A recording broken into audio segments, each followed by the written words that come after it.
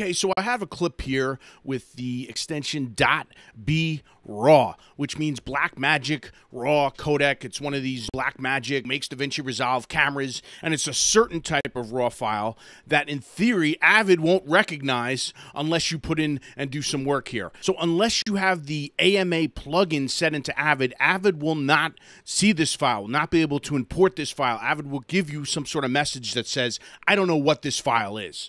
Right? So how would we get the B-RAW footage in there? One thing to think about is when you're trying to guess what AMA plugins do I have in there, you have something here called the console, Tools Console, and this is really unintuitive to even know where to type it in. But in here, in the bottom here, is some sort of search box, a very odd space. And if you type AMA underscore list plugins, and you hit return, it's going to show you what AMA plugins Avid has in here. So I already installed this. I'm going to show you how I did it. But here's this one called Blackmagic Raw. Once Avid gets this, now Avid can see this file, import it, link it, transcode it, etc., etc., etc. Before you do that, Apple can do nothing with this B Raw.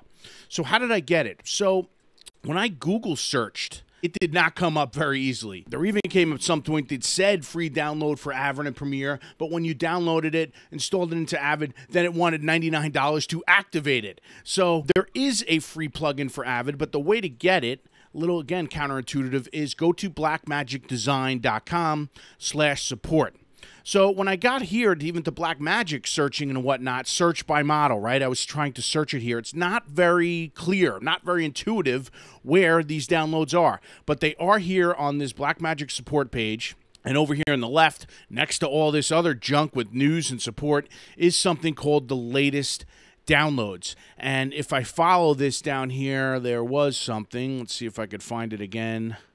Right. And so I finally found it down here. Not easy, wasn't easy to search.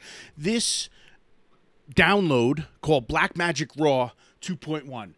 And in a sense, this will let your computer, let Avid see, recognize what a Blackmagic Raw clip is. So what happened was obviously I downloaded the file I extracted it, and what you get is an installer. Now, the one good thing, even though how bad and confusing that other parts was, the great thing was once I double clicked this and installed this, I really didn't have to do anything. It knows where to go in Avid, all the stuff like that. And now Avid and Premiere, actually, because I have both on this system, both were able to immediately see this B raw clip. So if I link it right now, just to show you something before I won't transcode it here, here it is. This footage shot in Blackmagic Raw, 4K, right? Ultra HD, as they call it, 3840 by 2160, which is television's version of 4K. And you see, you may say to yourself, wow, that is really washed out. What kind of camera shoots like that? That looks terrible. But of course, we have to deal with putting the LUT onto this type of footage. So again, much easier back when I started where someone handed you a tape and you digitized the tape and you didn't have to go searching through Google to find codecs and downloads and, and, and, and installers and things like that. So let's talk about installing the LUT. So in this case, I did a Google search. There might be other LUTs, there might be better LUTs. I went to this ground control color, or a free LUT, I should say, for Blackmagic cameras, is the way it was described here. I, in theory, bought it even though it was zero dollars. Now I got a file here called ground control BMD LUT. And what do I do now? I'm opening it up here. There's a certain file I wanted to get into Avid. How do I do that? In my user settings, I'm going to go to color management.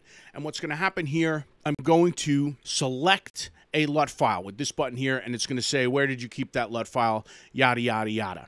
And once I installed that LUT file, so now I have this LUT file into my Avid. I'm going to close this. And now if I went to this B-raw footage and I right click and up at the top here is something called source settings. And this in theory is where I'm going to install my LUT. And so I'm going to go down here to the color adapter type and go to user installed LUTs. And there is the only one I just installed here. And when I, now you, you might say to yourself, wow, I have it on there. Nothing's happened. I have to hit this button add And once I add it, hopefully you can see that here. I'll zoom in. Wow, what a big difference that makes. I just applied it. I could still adjust later on if needed, but what an amazing, amazing difference that was. So hopefully for someone, this video saved you a lot of time and hopefully within five minutes you went from going from what the heck is a b-raw clip and how do i get into my avid to now you have a beautiful b-raw clip in your avid and that will make you finish your edit so much faster so you have more time to drink beer with your friends with your partners with your pets as long as there's a radio or even a TV on, you're really never drinking alone. So thank you so much for watching. Go to avidbeer.com for more, and I'll see you in the next video.